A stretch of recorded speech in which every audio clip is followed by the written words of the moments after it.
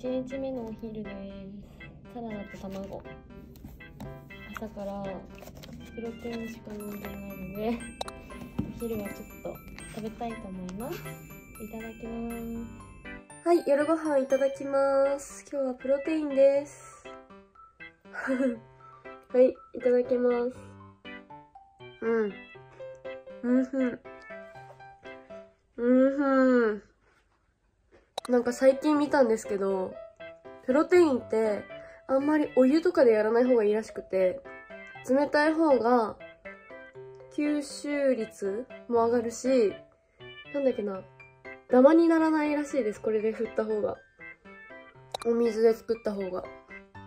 だからお水で作りました。おはようございます。2日目の朝昼はまたプロテイン飲んでます。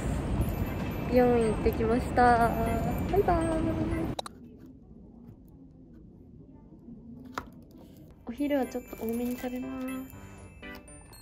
タンパク質が取れるサラダとゆで卵2つとオイコスですでお水飲みます。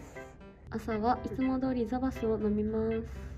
さっきあとタンスティックを食べました。ファミマで売ってる。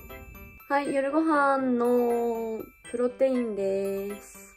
これは、アルプロンのチョコクッキー、チョコクッキーミルクティーみたいなやつです。ザバスのシェイカーで飲みます。このクッキーみたいな、待って、グロすぎ。クッキーみたいな入っててめっちゃ美味しい。うんふん。これが一番好きかも。粉で自分で溶かすやつを。今日本当は、私がいつもコンビニで買ってるザバスのカフェロ、カフェオレのやつを買おうと思って、あのでっかい袋の自分でこう作るやつを買おうと思って行ったら、なかったので、久々にこれ買ってみました。甘いものが食べたくなるときは、これを飲むようにしてました。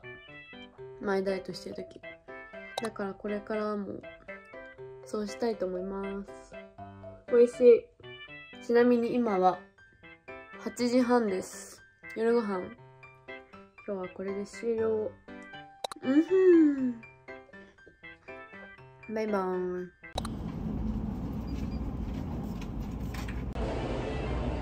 明日から前乗りなので朝昼ザバス飲んでます。安定の友達と映画を見てきました。これから軽めのランチに行ってきます。今日結局あの後ランチ行かなかったので何も食べずに夜です。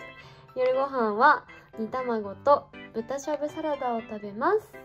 お腹すいた。いただきます。いただきます。実はもうちょっと食べ始めてましたなんか意外と次の予定まで時間がなかったらしく友達が。ちょっとブラブラっと散歩して終わりました。